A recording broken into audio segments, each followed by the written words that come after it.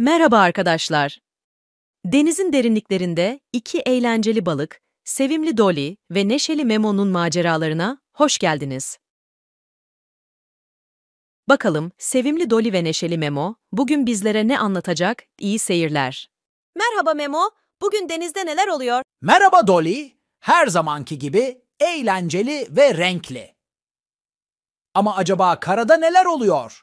Haklısın, merak ettim. İnsanlar neden bu kadar çok güler, tuhaf kıyafetler giyer ve birbirlerine garip yemekler yapar? Gerçekten ilginç. Biz burada renkli pullarımızla eğlenirken onlar neden karada renkli kıyafetlere ihtiyaç duyuyorlar? Belki de onlar bizim kadar renkli olamadıkları için.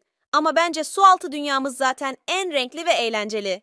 Kesinlikle. Karada insanlar neden hamburger gibi ilginç yiyeceklerle besleniyorlar? Bizim yosunlar daha lezzetli gibi görünüyor. Evet, bize baksalar, onlar da yosun yemeli. Ama belki de onlar sualtı dünyamızı merak ediyorlar. Açıkçası ben de insanların karada neler yaptığını anlamıyorum. Ama belki bir gün gelirler, bizimle tanışır ve birlikte kahkaha atarlar. Ha ha, o gerçekten eğlenceli olurdu. Bir de bizim mizahi şakalarımızı anlarlar mı acaba? Kim bilir, belki de sualtı stand-up gösterileri yaparız ve onlara gerçekten mizahı gösteririz. Ha, harika fikir Memo. Ama şimdi ne dersin? Biraz daha yoğsun mu tüketelim yoksa karada neler oluyor diye düşünmeye devam mı?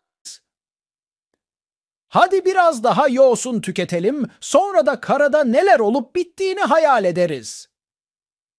Belki de bir gün gerçekten keşfederiz. İki balık yosunları yiyerek mizah dolu sohbetlerine devam ederler.